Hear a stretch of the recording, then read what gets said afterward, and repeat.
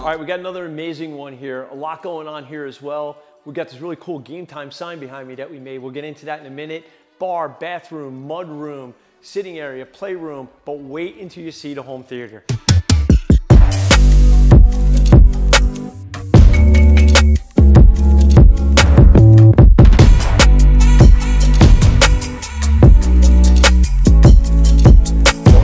We got this great entrance letting in all this natural light. What's cool about this, we set up a little mudroom bench with some closets right next to the entrance. Even smarter than that, we put the bathroom right here. Check this out. This is a really nice sized bathroom, close to the backyard for the pool, hanging out. You gotta check out the tile work in here and the floor. Look at, look at the shower, right? How gorgeous is this?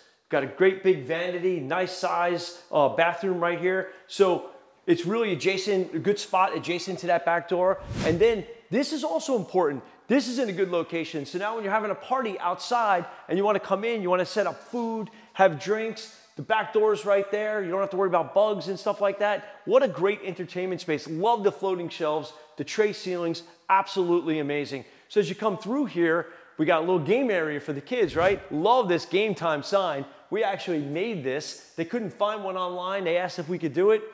And if we can't do it, it can't be done. So there it is right there. So we got a hidden door right there as well. And then you come over here, we got the kids' room. We were challenged here with a bunch of columns, but we put all this glass in and, and we separated it with the columns. So you really don't see the columns, but yet you still have this great big room. Love the clear glass. Come back outside here. Look at this sitting area, right? How amazing is this? We got this great sitting area with the half wall, the counter, bunch of bar stools here.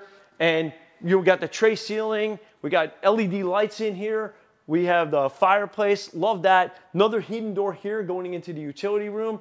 But this sitting area isn't it. The real showstopper here is the home theater. So check this out. When you see this, this is gonna blow you away.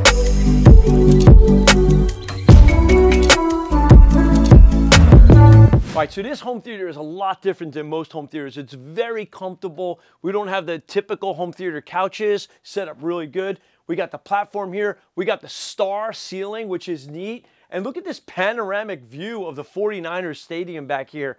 We got some bar seats here. You can get some food, sit here, sit, lay down. This is the ultimate home theater. How cool is this? All right, hope you enjoyed another awesome basement, but time for me to go.